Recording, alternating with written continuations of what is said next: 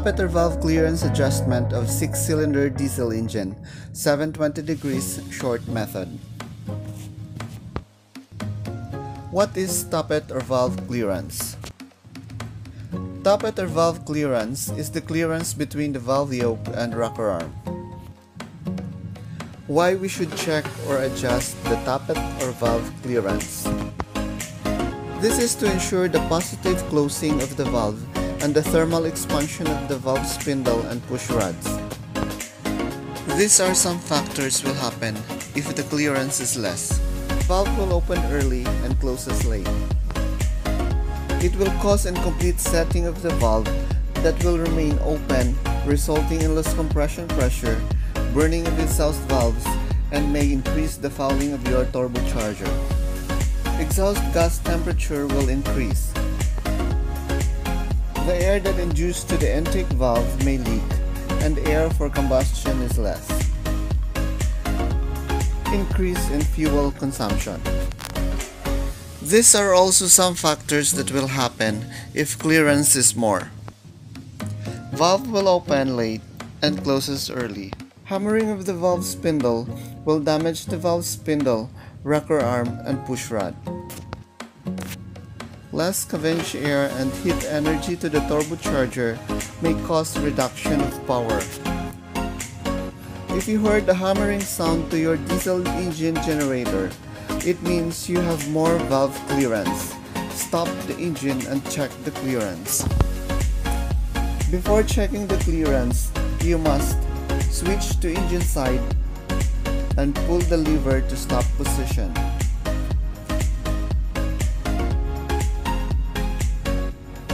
Remove the cover of flywheel. Close starting air supply. Switch off the LO priming pump. Open indicator cock to release pressure inside combustion chamber. And remove cylinder cover. Just a reminder, the valve yoke and rocker arm clearance of the intake or suction valve and an exhaust valve are different. Make it sure that you use the correct filler gauge in each valve. In this engine, 6EY18ALW, the firing order is 1426351. Turn the flywheel to number 1 and 6. As you can see, there are two numbers written on the flywheel. The other one is called running mate. At this time, the cylinder that is on top dead center is number 1. We will check the push rod of cylinder number 1 and number 6. It means number 1 is free to move. The cylinder that is on top dead center is number 1. Check the tappet clearance of exhaust valve using 0.06 mm filler gauge and 0.03 mm for intake or suction valve. In adjusting the clearance, loosen the lock nuts using box wrench. Loosen the rocker arm adjusting screw. If the clearance is less, rotate to counterclockwise to increase the gap, and if the clearance is more, rotate to clockwise to decrease the gap using flat screwdriver. Put on the filler gauge in between of the rocker arm and valve yoke. Gradually tighten the rocker arm adjusting screw. Make it sure that there is enough space to easily remove the filler gauge. Tighten the lock nut and check if the filler gauge can be removed easily. Turn the flywheel to number 4 and 3 and our next number in firing order is number 4. The cylinder that is on top dead center is number 4. We will check the number 3 and number 4 cylinder push rods. At this time, the number 4 is uh, free to move which means that uh, the number 4 cylinder is on top dead center. Check the clearance and if needed to adjust, repeat the procedures that we've done in cylinder number 1. We will turn again the flywheel to number 2 and number 5. The number 2 cylinder is on top dead center. The number 2 of push rods are free to move and uh, this one is on top dead center.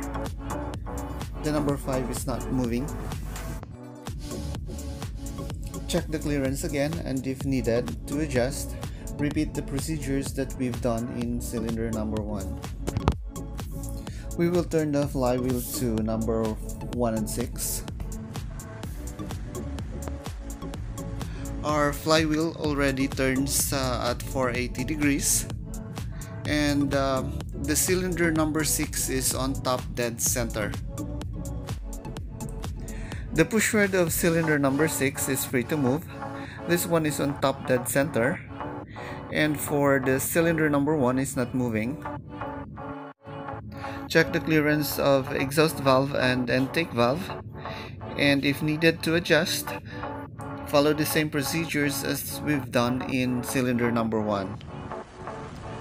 We will turn the flywheel to number 3 and number 4. And the number 3 cylinder is on top dead center. Cylinder number 3 is on top dead center and the push rods are free to, to move. And for the number 4, it's not moving. And this number 3 is on top dead center. Check the clearance and adjust if needed. To complete our 720 degrees we will turn our flywheel to number 2 and 5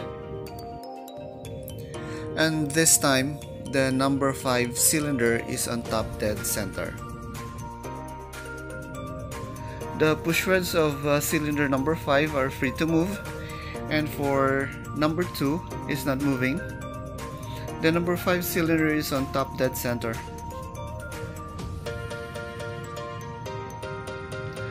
We are going to check the clearance and if necessary to adjust, follow the procedures that we've done in cylinder number 1. Our 720 degrees clearance checking and adjustment is completed for 6-cylinder diesel engine. Shout out to our engine department, Second Engineer Mosquera on vacation. Sana all. Sir Mike Gopez, our second engineer. Our third engineer, Master Myong Myong from Bicol, our fourth engineer, Sir James from Asin, and to our oilers, Daddy Christian, Papa Rod, to my junior oiler, Kuya Tres, and this is GGSS and hardworking engine cadet, Ren Ren, and most of all, the love team, Cannibals. Keep fighting.